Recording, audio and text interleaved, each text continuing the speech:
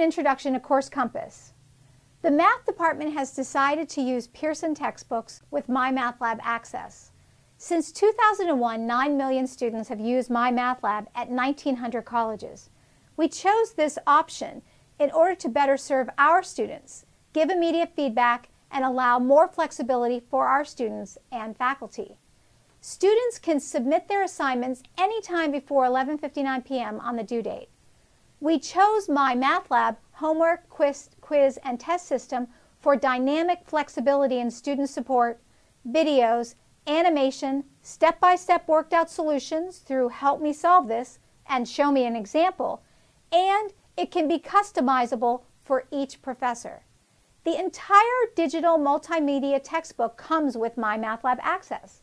The study and progress assessment, called Knewton, is intuitive and knows where you're stuck and can help you succeed. You can get a personalized study plan that diagnoses where you need to practice. Committed to accessibility for our students, MyMathLab has closed caption videos and is compatible with JAWS 12 screen reader software, enabling print-disabled students to read selected multiple choice and free response problem types and interact with them via keyboard controls and math notation input. This semester, we're going to use Course Compass or MyMathLab. They're the same. So you type in the URL, www.coursecompass.com or www.mymathlab.com or www.pearsonmylab.com. Either one will work, so if one of them doesn't work, when you log in, use another one. And if your browser doesn't work, just change the browser. Okay, so now you need to have, in order to start, you need to have an email address, a course ID, and an access code. You have an email address from your college or you can use a personal email address. You get your course ID from your instructor. What that does is it links the assignments that your, your instructor has created to your account so that when you do your assignments, they cross over and then the instructor can facilitate and assist you with your questions. So, and then you need an access code.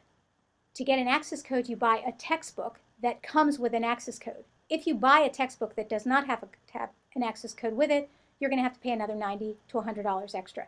So buy a book with an access code, or you can just pay the 90 to $100, the, uh, pay for the access code, and it comes with the entire digital book in the site so that you will have your book with you all the time.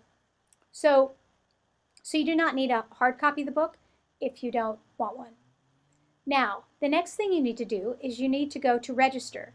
No matter who you are, you're going to have to register as a student in this class. So we click Students, and it says you need to have an email address, you need to have, have a course ID, and you need to have an access code or credit card. So now, course ID. My course is Winston 71615. And we're going to continue. We go over here and you'll see that the course is here. Fall 2013, Intermediate Algebra, Winston 71615. And notice that I have the textbook date or the course ending date as out to 2014 so that you have access to the book for long afterwards.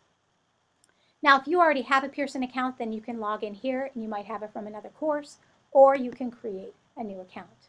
So we do that. I'm going to type in my email address, mathforfun at yahoo.com, and then um, a username. And so I'm going to choose a username. My first name is Rachel, and my last name is Winston. Security question, what town was I born in? And I was born in Dallas. So then I check to make sure that's okay.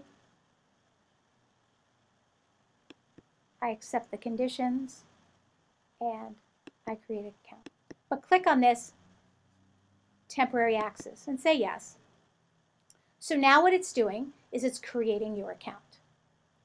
So we'll wait for a second um, as the account is being created. And then we'll go into the course. There'll be a link, and the link will say, would you like to access your course? It says go to my course. I'll click that. And then I click on this link. And notice I have announcements, homework, quizzes and tests, study plan, grade book, and chapter contents. So here, the entire book, under chapter contents, the entire book is here. So if I want to log into the book or um, read the book, I'll I click on chapter 1, and let's say I want to go to section 1.1. And I want to view the textbook. So this is going to log into the multimedia textbook. Inside the textbook, you have uh, videos, animation, uh, show me an example, so it works out an example for you, and you can read the entire textbook on the screen. So now we can see that section 1.1 is loaded. I can scroll down, and you can see if I want um, 6, 7, 8, 9, any chapter, and I want to expand it, notice that there's this arrow, and it'll expand it, and you can see all the sections in chapter 8. So let's say I want to go to 8.1 now. So 8.1 is loaded, and I can scroll down and notice that there's a video that explains how to do these types of questions. So that's nice. There are all kinds of help features within the book. So it's not just a static book, but there's a book with videos, animation, and uh, worked out problems for you. So we can keep on clicking these arrows. We can make it uh, zoom in or zoom out using these features here. And then um, we can read the textbook as we like. I'm going to go to the homework though, because I want to show you how the homework works. So notice that there are deadlines. These are the deadlines. And most of these are past due. And you can see these are still open. So 10, 16, 20, 24, and so on. So I'm going to click on a homework assignment and then click on a question. So actually, if I were to do this homework assignment, I would just start with question one and then go to question two and so on. But let's just try this question. So notice over here, there are these tools. Help me solve this, show an, view an example, video, animation, textbook, connect to a tutor, ask my instructor, and print. So generally what I do is I'll use help me solve this if I'm just starting to work out the question or view an example if I just want to see like how do they want the answer to look because sometimes Course Compass wants the answer in a certain way so when you go to view an example you can scroll all the way to the bottom and you can see exactly how they want the answer to be. So I go over here and I um, want to factor this and saying that you know how to factor, you go to uh, v minus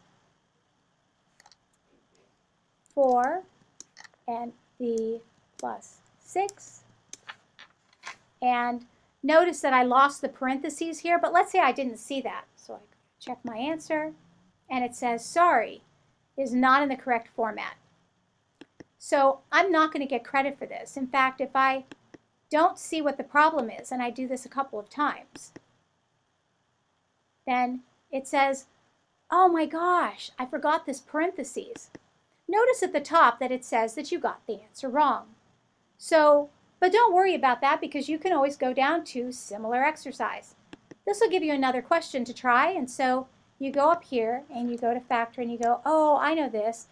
Um, the variable is s, so make sure you have the right letter. So s plus 8 times s minus 3. And then we check the answer, and it says excellent. And now we go up here and notice the X is a check. So you can do these questions over as many times as you want until you get the right answer. It'll just take your wrong answers and make them right.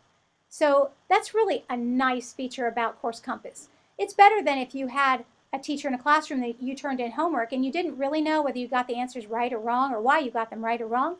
So here you have immediate feedback. As soon as you do the question, you know it got you got it wrong, and then you can get some help, or you can work on it again, um, or read the book to get more information.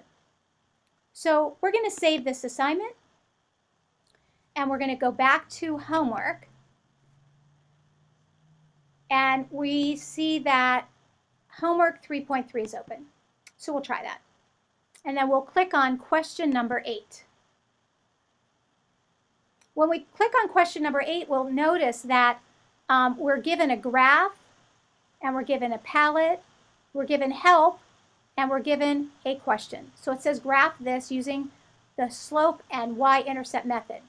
So again, you're going to get help to do this, but let's say you know that when x is 0, y is 5, and when y is 0, x is 3. So you go down here and you go when x is 0, y is 5, you click, and when y is 0, x is 3. But let's say I miss and I hit it here.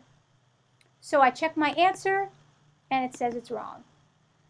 So now I don't want that. I need to clear that, that answer. Maybe I just can't see it in this small space. So I clear the answer and I go up here to this this magnifying glass or you can go here to click the enlarge enlarge click click to the enlarge click to enlarge the graph and you go over here and notice it says normal, medium, or maximize. You can actually make the graph much larger. But we're going to leave it here and we're going to click on the line tool again. There's the line and we're going to put the first point on. So when x is 0, y is 5. Click. When y is 0, x is 3. Click. And we're going to save it. So you have to push save and then you check your answer and it says nice work. So we got that question right. We're going to leave this and we're going to try another assignment so I can show you a different process. So now we scroll down to homework 5.1. And in homework 5.1, we're going to do question 4. Question 4 is use the quotient rule to simplify. Use the quotient rule to simplify. So you know that when you divide like bases, you subtract the exponents. So 9 minus 6 is 3. So I go 2. And notice over here I have a power key. So I can use the power key and I can put 3. Now if you don't want to use the power key over here in this palette, then what I usually do is 2 and then I go shift and I use the caret key and then I put 3.